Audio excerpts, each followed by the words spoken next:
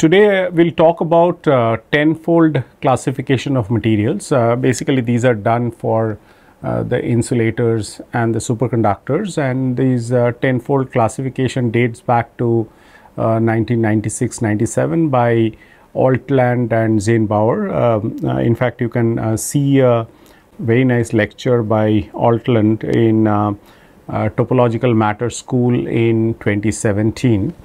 And so, we will not get uh, too much into details of this classification, but we'll tell you the uh, basic things based on the discussion that we had so far on uh, these uh, time reversal and uh, particle hole and other symmetries that we talked about.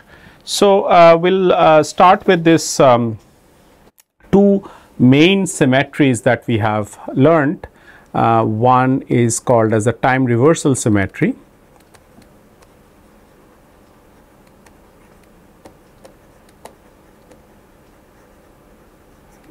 uh, which of course means that uh, t going to minus t and so on. And uh, what it means is that uh, if a particle is made to move uh, with a velocity v in the opposite direction that is with a velocity minus v uh, whether the physics remains invariant or whether the Hamiltonian remains invariant and we have elaborately seen the consequences of such time reversal symmetry being present or absent um, especially if they're present then uh, one has these Kramers uh, doublets uh, which we have done. Now uh, also we have looked at the particle hole symmetry and uh, this is uh, has been talked about when we discussed uh, Kitaev chain and so on. So, whether uh, a particle becoming a hole and uh, so on, whether that has uh, a bearing on the Hamiltonian and if it does then of course there are uh, these uh, energy E corresponding to a particle will have an energy minus E corresponding to a hole and so on and so forth. Okay. So, if you want a, a, sort of pictorial representation of that, so let me sort of draw a conduction band and the valence band. So, this is the CB and the VB and um, we create a, a hole here. Uh, so, there is a single hole excitation here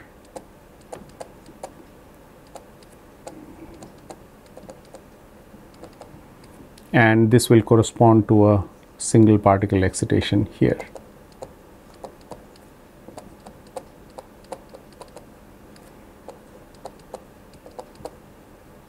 Okay. And um, of course uh, this is your Fermi energy let me draw it with a color. So this is Fermi energy and this is for E greater than EF and this is for E less than EF and so on. Okay. So uh, this is really the particle hole symmetry that we talk about. So there is a corresponding to an energy minus E for a, a hole excitation uh, there will be a particle excitation at an energy plus E and so on. Okay. And in terms of a band picture, uh, we can do it, suppose we take a cosine band and uh, the we fix the Fermi level somewhere here and uh, then uh, the particle hole symmetry would correspond to something like this. So, there is a k minus pi will correspond to uh, for a particle will correspond to a hole at uh, these uh, k. So, uh, say this is some uh, a k minus pi and this will be some a k dagger and so on. Uh, so, this is the you know the hole and this is the particle and so on. Okay. So, um, we have uh, also learned that uh, the time reversal uh, symmetry which we write it by T and the particle hole symmetry which we will write it by C. Uh, and the reason that we write it by C usually because uh, traditionally this particle hole symmetry is uh, denoted as a charge conjugation symmetry. Okay. Um, it's called as CCS and I believe that the people uh, who work in high energy physics, they use this term more often uh, than the people in condensed matter physics. So, this is called charge conjugation symmetry and that is why it is written with a C. Uh, so, this T and C are the ones that we are uh, going to talk about and um, uh, we have in various situations we have uh, talked about how T acts on a Hamiltonian which uh, is of the form of a Dirac Hamiltonian say D dot sigma and uh, then uh, uh, how T acts on each of the components of D and how the Hamiltonian gets transformed. We have done that elaborately in the context of when we did the SSH model and the Kitaev model. So, this T has a form which is we know that it has a form like um, a K conjugation. It's also usually written with a UK where u is a unitary operator and this k is the complex conjugation and it makes it a anti-unitary operator and both c is also an anti-unitary operator. Now this is for uh, spinless uh, fermions or spinless uh, particles and we have also uh, looked at how uh, in presence of spin this is not enough uh, to represent the symmetry. Uh, it's written as I sigma y k uh, for the spinful particles and uh, we have seen this uh, earlier okay uh, and uh, this sigma y is nothing but the y component of the Pauli matrix and this can be operated on a given term of the Hamiltonian and then term by term we have uh, talked about how these Hamiltonian or rather how this symmetry operation transforms. So, uh, now this uh, t is equal to uh, the square of this is equal to plus 1 uh, for spinless particles and so on. Okay. I am just trying to remind you of all the properties that we have done and uh, this is equal to minus 1 for uh, spinful particles.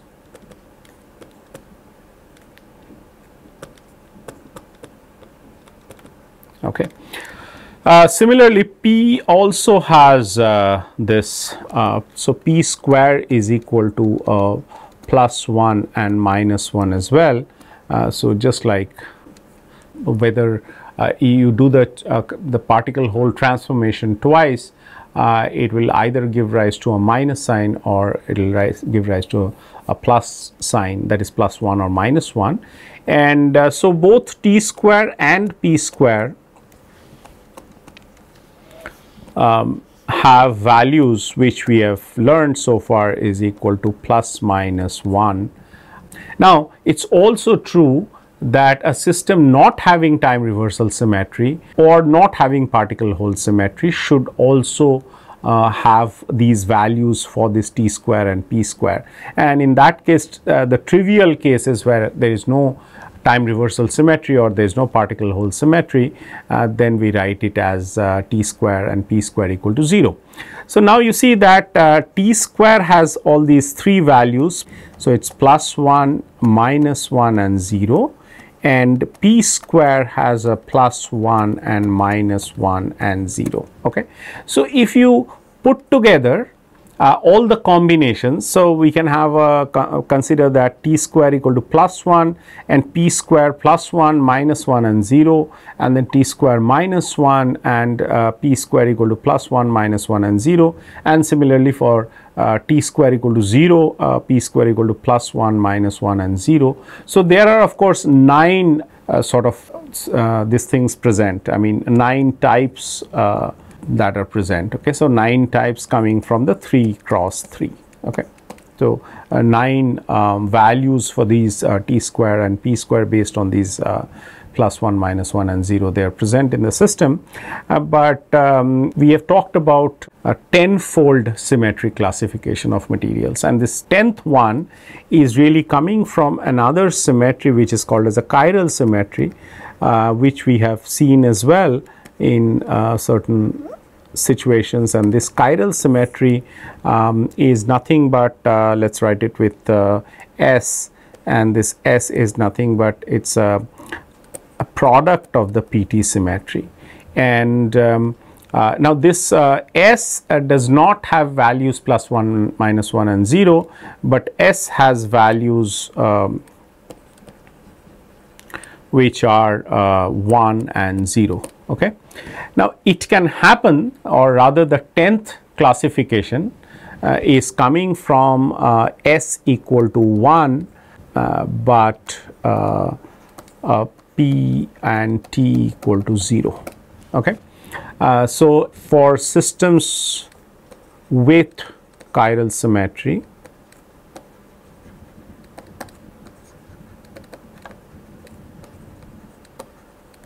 so let me write it with only chiral symmetry okay?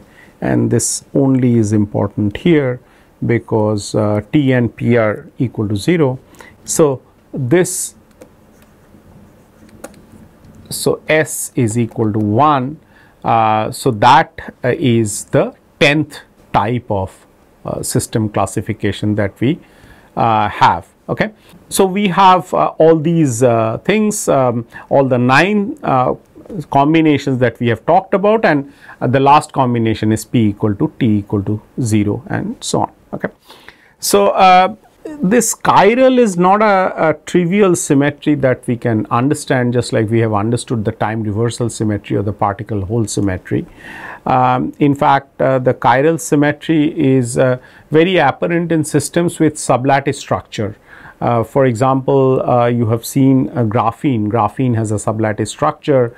Uh, it consists the unit cell consists of uh, uh, two atoms, uh, there are two atoms in a given unit cell and um, they are called as A and B atoms and there is an inversion symmetry with respect to the bond, uh, you know, the perpendicular to the bond that connects. Uh. so, what I am trying to say is uh, these is the structure and uh, so this are so these are A and B. So, if you draw a line here then uh, you can change um, or you can invert between uh, you know uh, about this uh, red line and A becomes B and B becomes A. Now since both A and B uh, correspond to carbon atoms in um, in graphene, so that's how it is uh, having a uh, sublattice symmetry and same that it goes with the SSH model. So the chiral symmetry is a sublattice symmetry for systems with you know sublattice. So uh, so chiral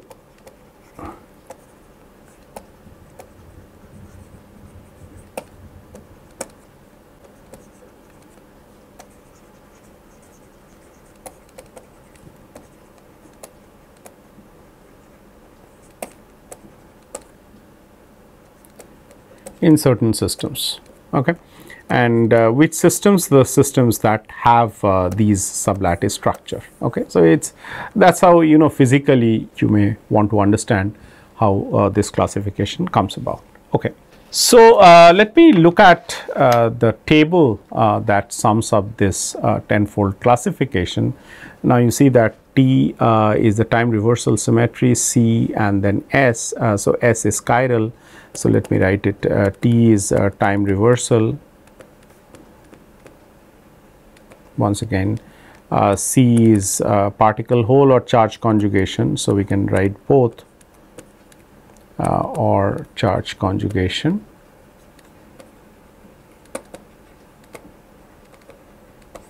and S uh, is chiral. Okay. And uh, you see that uh, there are these time reversal symmetry being there. So, the 1 means that it is there so, it is either 1 or minus 1. So, that is that is how it is classified. So, 1, uh, 1 and 1. So, that corresponds to the BDI class. So, this uh, BDI that is there. Then if it is uh, plus 1, minus 1 and 1, it is called CI and then it is AI and then it is uh, B3, uh, C2, A2, D, uh, C, A, A3 and so on. This is the last class, uh, the 10th class where uh, T is equal to 0, uh, C is equal to 0 that is these two symmetries are not there. There is it is not invariant under these time reversal or the charge conjugation symmetry, but still the system has a chiral symmetry and that is called as a A3 class. Okay, so these are all these names that are you know are proposed. So there is uh, BDI and CI or uh, C1, A1, B3, C2, A2, D, C, A and A3. Okay. So, all our materials uh, including the insulators and the superconductors will fall into one of these categories and they are sort of based upon these values that you see um, appearing at the uh, columns uh, corresponding to T, C and S. Okay. Uh, S is nothing but a product of T and C. So, this is the tenfold uh, classification of materials. Of course, I am uh, presenting a, a, very concise version of this uh, classification that is only relevant to us and uh, uh will not go any farther than that. Okay. so, now of course, we uh, get this these symmetry classes, but then we have to talk about the topological invariants as well. So, that we know that which topological invariant we are talking about and uh, we have uh, learned about a number of topological invariants.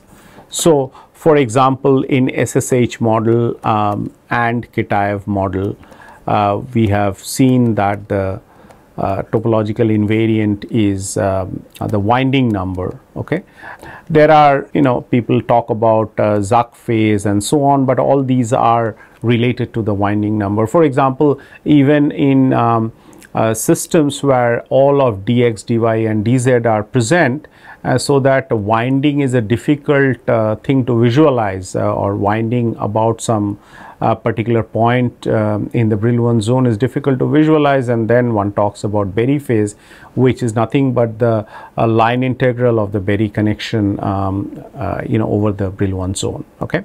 So, it's winding number there. So the topological invariant is the winding number. For example, we have uh, talked about uh, 2D electron gas in presence of a, a magnetic field and then uh,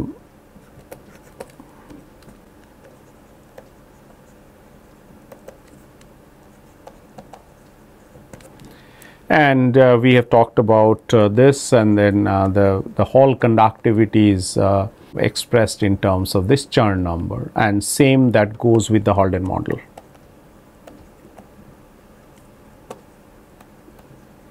So, by and large you know whenever there is a Hall effect quantized Hall effect there uh, has to be a Chern number which is the topological invariant. So, the Chern number uh, sits right in front of the E square over H and uh, this C takes values which are uh, you know 0, 1 and so on.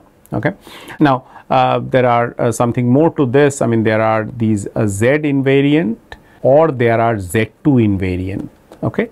And these z and z2 invariants uh, are uh, based upon whether z invariant uh, the Chern number is a z invariant. What it means is that it can take values like uh, 0 1 2 3 4 etc and uh, so that's integer classification.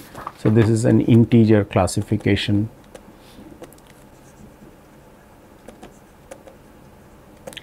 And uh, this is of course binary 0 and 1 okay. So, 0 correspond to the trivial uh, phase and um, 1 corresponds to the uh, topological phase. So, these two are the main topological invariant that one talks about.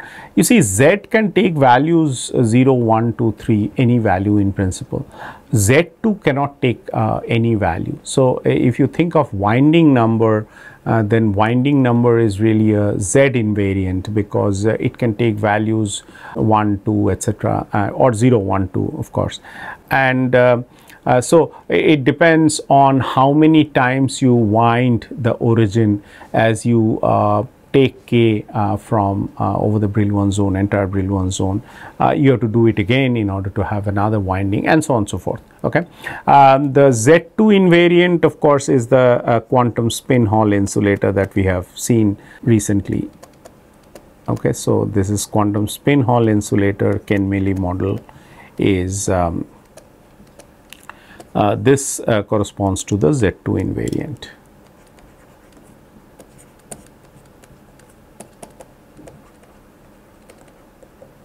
Okay. So, we need to identify the topological invariant that is uh, important uh, for a particular case uh, and that particular case will be decided by the symmetry of the Hamiltonian that is uh, whether this, uh, the Hamiltonian has all of time reversal, particle hole and chiral symmetry or it does not have uh, one of them, it does not have two of them and so on and so forth. Okay. So, uh, the topological invariants are classified like this. Uh, so, this is only shown uh, in dimensions 1, 2 and 3. Uh, of course, in this particular case we have uh, looked at uh, only 1 and 2 dimensional materials so far. So, this is the our domain so far. Okay. so, these symmetric groups are present here. So, there is a A3 a1, BDI and so on so forth. There are these, uh, the topological invariants are in 1D uh, 0, which means that there is no topological invariance, it is topologically trivial. Uh, it does not have any topological properties. In uh, two dimension, it has uh, the Z, which is a Chern number. A3, uh, one dimension, it has Z, and two dimension, it is 0, and so on, and then AI, BDI, and so on and so forth. Okay. So, uh, these are the topological invariants and uh, where are we interested in? Uh, we are interested in uh, say for example, uh, we are interested in uh, the IQHE that is integer quantum Hall effect or quantized Hall effect that we have studied and if you look at that that has no symmetry at all. So, it, it forms into the A class. Okay. So, it forms into the A class which has no symmetry, it has no time reversal symmetry because of the magnetic field being present and it has no um, charge conjugation symmetry, it is a completely disordered material and there will be no chiral symmetry as well. So, it, it forms falls into the A class which is here and uh, these uh, A class if you look at it uh, here then the A class uh, has uh, in 2D this Z invariant and this is your IQHE and the Z invariant is uh, of course identified with the Chern number. Okay. Uh, what about um, the SSH model? So, the SSH model is here. So, uh, so this is the SSH model and the Kitaev P wave chain with spinless fermions. So, this is SSH, uh, let us just write SSH to begin with, we will talk about the Kitaev. So, this is SSH and uh, what is the topological invariant is a winding number which is also a Z invariant just like a Chern number okay and um, we'll just talk about uh, the Kitaev in just a moment. Let's talk about um, the quantum spin Hall. So, quantum spin Hall effect uh, that's the Z2 invariant you know very well that that's the so there's a Z invariant there's a Z invariant and that's a Z2 invariant which we have discussed elaborately uh, for a system with uh, time reversal symmetry. So, that is A2. So, uh, let us just go back and see what A2 is. A2 has a time reversal equal to minus 1. These are really the t square values. Okay. Uh, so, t square values in fact they are written tc, but they are the squares of this. This is minus 1 because of the reason uh, that this is with a spin. So, the with spin it is i sigma y into k, uh, k being the complex conjugation and it has no other symmetry. There is no particle hole symmetry, there is no chiral symmetry and so on. So, this uh, falls into the A2 class and if you go here you see that the A2 class has a topological invariant which is a Z2 invariant and that is the QSH. Okay.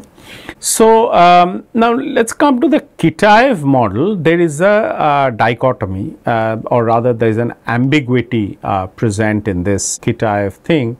So, Kitaev um, if we uh, talk about the Kitaev chain with uh, p wave superconducting uh, correlations um, and we talk about spinless particles. Suppose we do not talk about electrons at all. So, we talk about spinless particles with uh, p wave correlations. superconducting correlations. Then it falls into the BDI class. Okay? It has same symmetries as the Kitaev model and just to go back and forth. So, it is all of the symmetries being present that is there is a time reversal symmetry, there is a charge conjugation symmetry and then there is a chiral symmetry as well. Okay. So, it is the same thing as uh, the BDI class and then BDI class uh, will be characterized in one dimension by a Z invariant and which we saw that um, we have denoted the topological invariant as the winding number for that particular problem. Okay. But however, there is also true that if you talk about uh, electrons and then you have to talk about spin. Okay. And if you need to include spin, then you actually can talk about S wave superconductor you don't need to talk about p wave superconductivity. You can also talk about p wave superconductivity, but uh, you can talk about s wave superconductivity. But then you need to make a spin polarization in order to talk about only one uh, you know kind of spin being there and then there are these uh, other things such as uh, spin orbit coupling being present etc that's uh, it is uh, usually studied with s wave superconducting correlations and then of course, because you need a magnetic field, there is no time reversal invariance and then you're not uh, really there, you are there in this thing where it's only particle hole symmetry uh, because of the p wave superconducting correlations, neither chiral symmetry nor uh, time reversal symmetry. And that's uh, where you have a D class and the D class is uh, represented by a Z2 invariant. Okay, so this is uh, so, I will write SSH and uh, spinless Kitaev and here spinful Kitaev. That is a D class, uh, but you see that the topological invariant is Z2 and uh, not equal to you know Z.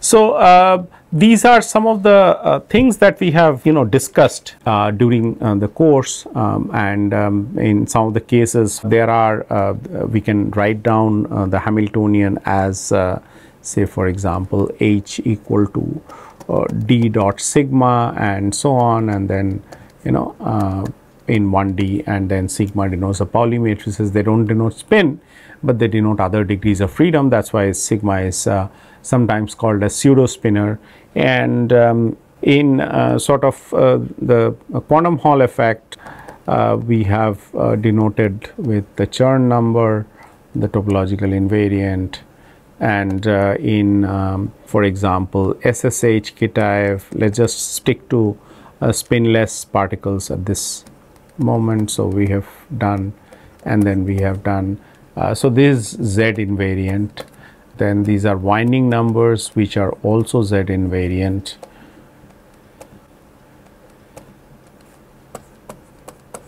And then we have done a, a quantum spin Hall phase uh, which uh, is actually uh, the Z2 invariant. Okay. So, this is in 2D, this is in 1D we have done and this is again in 2D graphene that we have done. Okay. So, there are uh, various um, such classifications that exist. So, if you look at the table and uh, you know what symmetries are present in a given Hamiltonian, uh, then uh, you identify the symmetry class of the material and from this table you can read out the topological invariant and uh, if you know how to calculate it like for all these cases we have shown how to calculate the topological invariant uh, then you are more or less you know that, that's about uh, the classification of materials okay?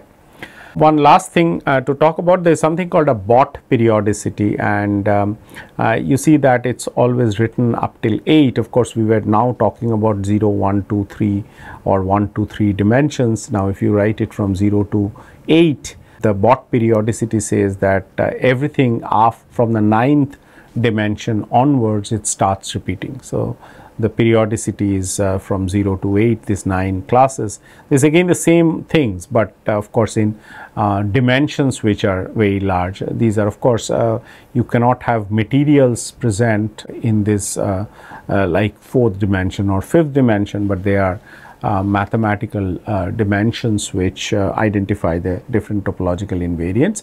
And it, it says that uh, till 8 it uh, sort of it carries on and then of course everything gets repeated from 9th onwards. So, 9 is same as 0 and 10 is same as 1 and so on and so forth.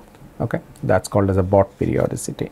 That's not very important for us but what is important for us is to have a comprehensive understanding of uh, a certain material and uh, uh, if we can write down a Hamiltonian then we should be able to know the symmetries of the Hamiltonian.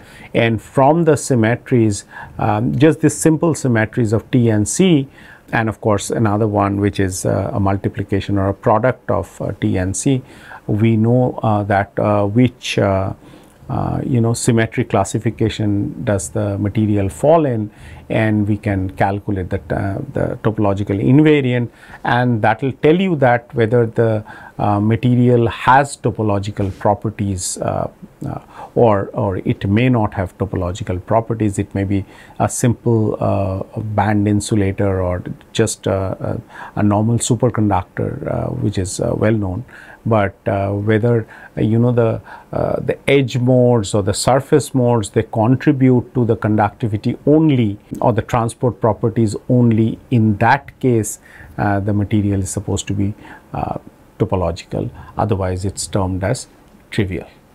Música